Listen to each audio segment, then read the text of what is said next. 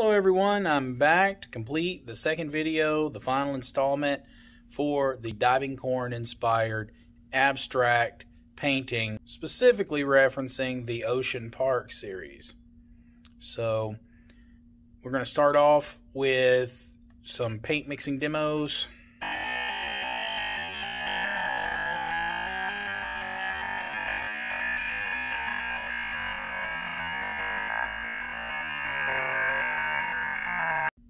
We're going to make some nice thin see-through washes and mute some colors and complete this painting. So let's go. As you can see, I've cleaned up the drawing just a little bit gotten it ready to paint. So I went through and erased some of the things that need to be touched up here and there and tightened it up a little. Although I did leave some of the ends here a little expressive and I think that'll fit in pretty good with Diebenkorn's work. So once again, I'm not making a carbon copy of what Diebenkorn's doing, but I am going to go ahead and try to emulate his style a little, right? So we're kind of doing this in the style of, and no matter how much you try to copy someone's work, uh, a little bit of you usually slips out into it, you know, unless you spend years and years uh, figuring out how to exactly copy an artist. So to begin, we're going to go ahead and mix our colors. So I'm going to be using probably primary colors. That's what Diebenkorn seem to use, a lot of primary. Uh, not pri not all primary, but, you know, uh, I'm going to probably stick with some blues and reds. Maybe I'll throw in some violet, um, black, white, or maybe some really dark versions of the colors that I'm using instead of black. But I'm going to add a lot of water. I'm to make a wash. Okay, so see how that's transparent now? There's a lot of water in there. I want my lines to show through, but I also want to muddle these colors a little. There's two ways I can do this. I could add a tiny little bit of red to this blue. And that'll turn it in kind of violet, depending on how much I put in there. But I just want to put enough in there to kind of dirty up the blue. Another thing I could do, so see now it's not so pure, it's not, now it's not so pure and it, it's a little more muddled and, and these are the kind of colors I really like and I think that's one of the reasons I like the Diebenkorn work, the Diebenkorn series, um, the Ocean Park series is because he does use some muted colors. Another thing I can do is I can add just a little bit of black. So black is a great way to mute and subdue colors.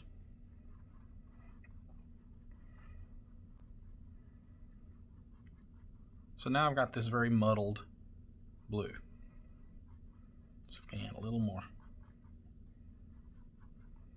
Okay. Very subdued, very beautiful color we've ended up making here now. I'm going to go ahead and add a little more water now that I've added more paint. All right, so now I'm going to just kind of paint this however it catches my eye. And just do whatever, you know, whatever takes me.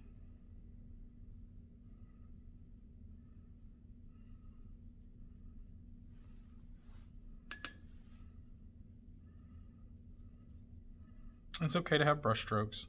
Diebenkorn had a lot of brush strokes, if you remember.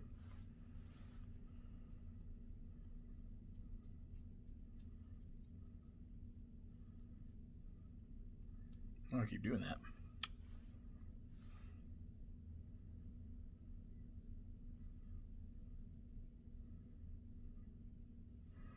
All right, then we pick another place to kind of spread this out. We want this to be uh, to have unity and balance. Maybe I'll put some in this corner. That'll balance it out, but also because I drip some right there, so I might be uh, might kind of be stuck doing that now. And this one I'm to do a little lighter just to give myself some variety. I'm to skip that for right now in there. I don't know what I'm going to do with that yet. I don't leave my options open.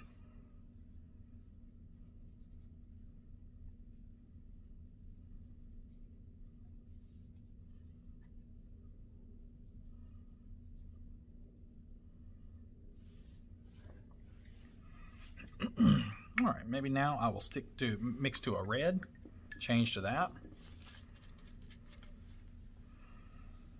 Once again, I'm going to muddle the color though.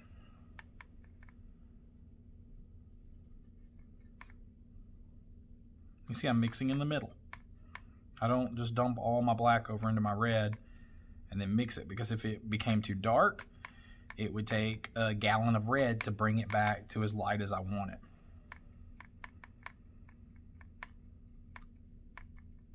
Okay, so I think that's something about where I want to be. Add a little water. Let's see what happens.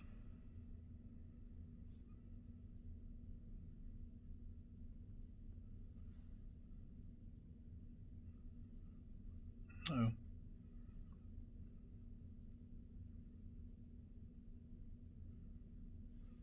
All right. And then maybe find another place. I could do a very dark red right here.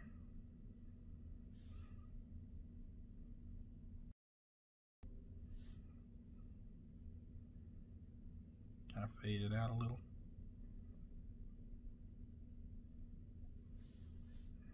And then do an even lighter red. The way I'm going to make a lighter red, I'm not going to add any white to it.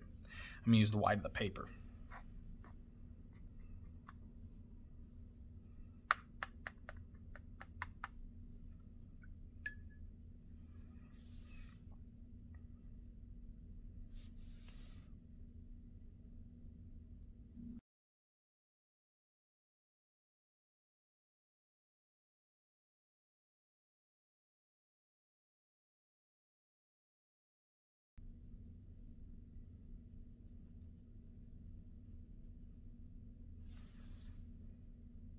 All right, so I'm liking that so far. Maybe I'll keep this over here white. And maybe I'll start adding some violets. That could be fun if I mix my blue that I made with my red that I made. See what happens.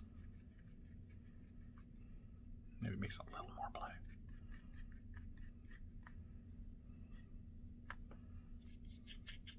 Let's mix over here in another container, right? All right, now, now we're coming up with something, a very muddled violet.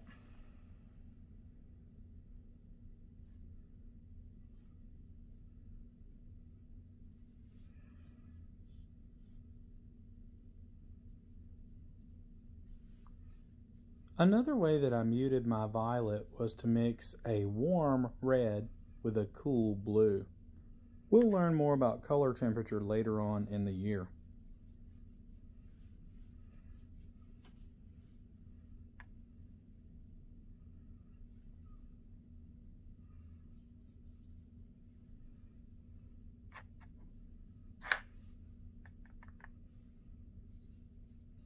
I might cool that off a little. And give it a little variety at the same time.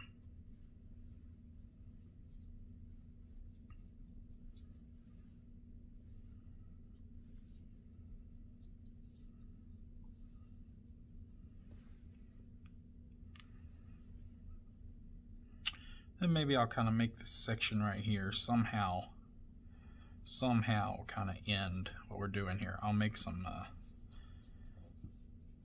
implied lines, maybe just kind of by blurring these two different colors I'm going to use together. I want to add a little more blue to my to my color over here.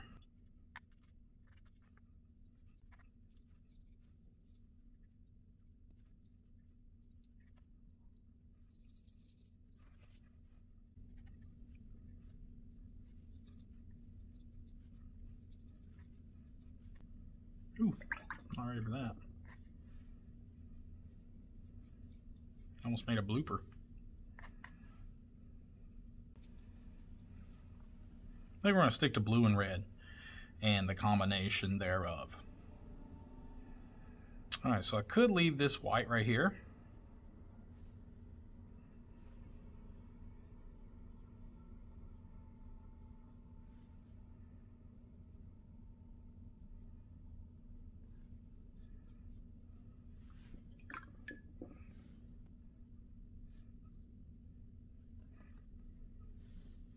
I don't know. I think that'll work. I think that'll work. I'm kind of thinking about adding some more things to it though to to kind of balance these out. I've got uh, this white square here. Maybe I could come back and add a little bit of a line here. Maybe I'm not. Maybe it's too. Maybe it's gonna be overboard. Maybe I'm gonna tear a hole in it. I don't know. I'm not patient. I'm not patient. Okay. Uh, but you know, I kind of like that idea. That kind of looks good to me. Or if I can. No, not that kind of pencil. Yeah, yeah. I'll just have to wait and be patient. But I kind of like what I, what's what's going on there. So, um, now is it balanced? I accidentally kind of balanced this out pretty decent in my opinion. Um, and I've done this by having this really dark blue here and this very large medium violet. So it's not as dark as this over here, but it's uh, it's very it's very large and it's very far over to the edge, so it ends up balancing it out pretty well. Uh, I wish I had kind of talked about what I was thinking more when I was doing this. Uh, that's the problem with art is um, it's very visual, and sometimes it's not always easy to communicate verbally what you're trying to accomplish when you're focused so hard on actually doing this very visual work and all this decision making.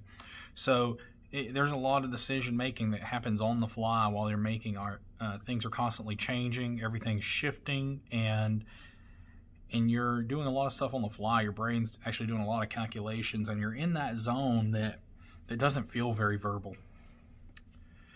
All right, so uh, just looking at this composition, uh, you know, as it dries, it's probably going to get a little lighter, and so I may change my mind about some things. Also, it's a little low contrast. So one of the things I may do, I may switch to, uh, right now I got a 2B pencil, I may switch to an 8B pencil here and darken up some of this to kind of punch up my contrast on my blacks so they could be much stronger. All right.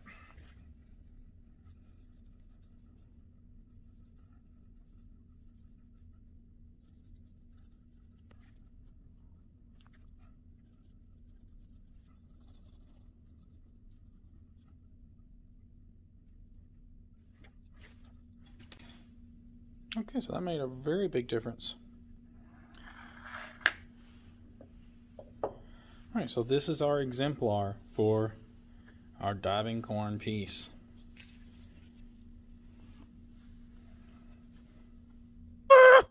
All right, everyone, until next time.